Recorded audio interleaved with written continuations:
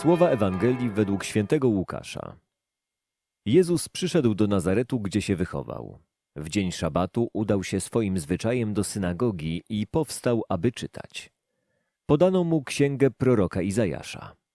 Rozwinąwszy księgę, natrafił na miejsce, gdzie było napisane: Duch Pański spoczywa na mnie, ponieważ mnie namaścił i posłał mnie, abym ubogim niósł dobrą nowinę, więźniom głosił wolność, a niewidomym przejrzenie. Abym uciśnionych odsyłał wolnych, abym obwoływał rok łaski od Pana. Zwinąwszy księgę, oddał słudze i usiadł, a oczy wszystkich w synagodze były w nim utkwione. Począł więc mówić do nich. Dziś spełniły się te słowa pisma, któreście słyszeli. A wszyscy przyświadczali mu i dziwili się pełnym wdzięku słowom, które płynęły z ust jego i mówili, czy nie jest to syn Józefa? Wtedy rzekł do nich, z pewnością powiecie mi to przysłowie. Lekarzu, ulecz samego siebie. Dokonajże i tu w swojej ojczyźnie tego, co się wydarzyło, jak słyszeliśmy w Kafarnaum. I dodał, zaprawdę powiadam wam, żaden prorok nie jest mile widziany w swojej ojczyźnie.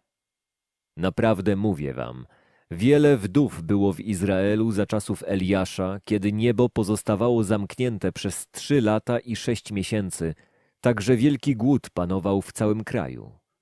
A Eliasz do żadnej z nich nie został posłany, tylko do owej wdowy w Sarepcie Sydońskiej. I wielu trędowatych było w Izraelu za proroka Elizeusza, a żaden z nich nie został oczyszczony, tylko Syryjczyk Naaman. Na te słowa wszyscy w synagodze unieśli się gniewem. Porwali go z miejsca, wyrzucili go z miasta i wyprowadzili aż na stok góry, na której ich miasto było zbudowane, aby go strącić. On jednak, przeszedłszy pośród nich, oddalił się. Na początku swojej publicznej działalności Jezus udaje się również do swojej rodzinnej miejscowości, Nazaretu. Mieszkańcy jednak nie przyjmują go. Paradoksalnie ci, którzy powinni znać Go najlepiej, przecież Jezus żył pośród nich przez 30 lat, nie znają Go wcale lub co gorzej, mają własne wyobrażenie o Nim i wolą trwać przy swoich utartych schematach.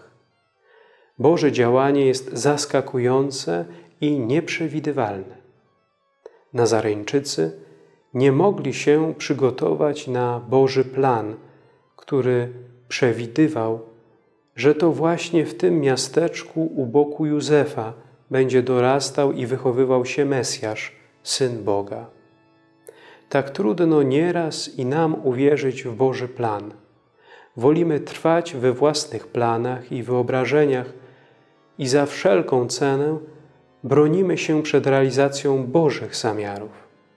Wiara jest łaską, ale łaskę tę trzeba najpierw przyjąć. Mieszkańcy Nazaretu odrzucili Jezusa, chcieli Go nawet zabić. A czy ja przyjmuję Jezusa z całym bogactwem nauki, którą głosi? Czy i we mnie tak czasem się coś nie buntuje, jak słucham wymagań Ewangelii? Czy aby na pewno nie ma we mnie czegoś z myślenia i postępowania Nazareńczyków?